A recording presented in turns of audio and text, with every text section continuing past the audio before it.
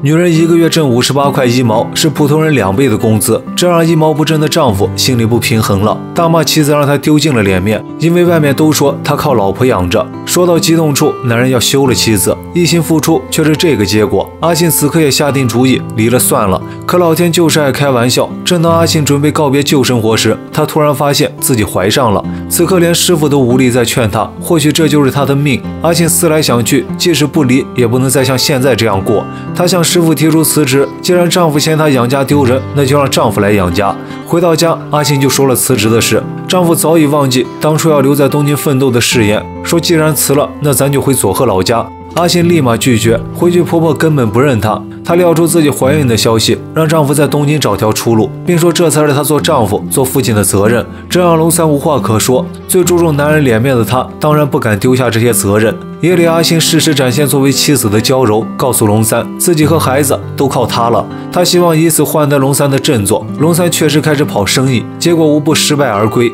渐渐的，龙三又泄气了，家里一毛不入，每天还都有开销，账越欠越多。他想卖房子了。阿信笑着对他说：“这算啥？吃的还是白米饭，你离穷还远着呢。”龙三只得继续干。可几天后，家里连米都没有了。龙三翻箱倒柜，阿信告诉他，值钱的东西都当了。龙三此时才知道。什么是山穷水尽？阿信还是笑呵呵，他在让龙三明白钱是多么重要，比面子、比仗义更重要的多。龙三不顾风雨的冲了出去，师傅刚好来看阿信，多少听闻了阿信的难处，师傅是来给他送钱的。阿信一面感激，一面拒绝。他已经忍了两个月了，就是要穷到走投无路，让龙三知道知道这个滋味。师傅对龙三是没有一点信心，他说道：“不行的男人总归是不行的。”阿信打断师傅，他希望龙三能撑过去，能成长起来，重塑自信。师傅不再说话，他只觉得阿信太爱龙三了。他当年也有过这样的男人，他想用当年他的选择为阿信指路，但阿信此时却坚持选了另一条。师傅只希望阿信是对的。一直到深夜，龙三才回来，手里拿着一百元。他曾帮过老家一个佃户的儿子，现在那人发达了。作为地主少爷的龙三扯下脸向对方借了钱，这一点点改变让阿信激动不已。一向好面子的龙三竟然会向自家佃户借钱，他终于知道钱比面子重要了。夜里，阿信继续给龙三鼓劲，龙三也说道：“只要有你在，不管什么苦我都愿意吃。”很快，龙三就发现死抱着批发布料的生意是不行了，要想着改行。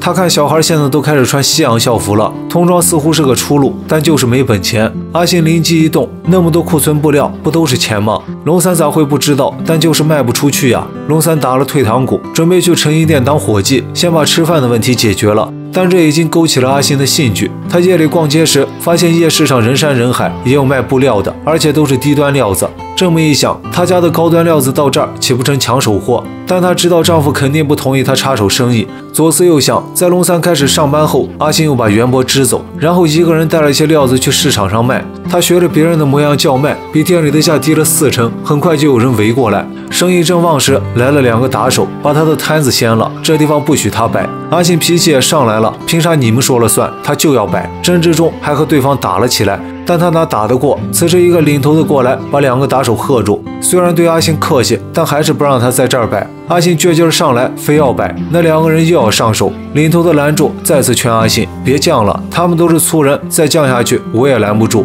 阿信这才气呼呼的收拾东西，还扬言要告对方。打手哈哈一笑，说他脑子有问题。回到家，看见阿信满身伤，龙三也顾不得责怪他了，问到底咋回事。阿信缓过来后，突然发现卖布的钱袋落那儿了，这可亏大了。龙三从阿信的言语中得知他去摆摊了，这他来气了。那地方你咋能去呢？那都是帮会的地盘，没被打死算好的。他劝阿信想开点，人家还让你把东西拉回来了，算好的了。可阿信还是心疼那点钱，一夜都没睡好。到了第二天，让人没想到的是，昨晚那个领头的老大竟然找来了。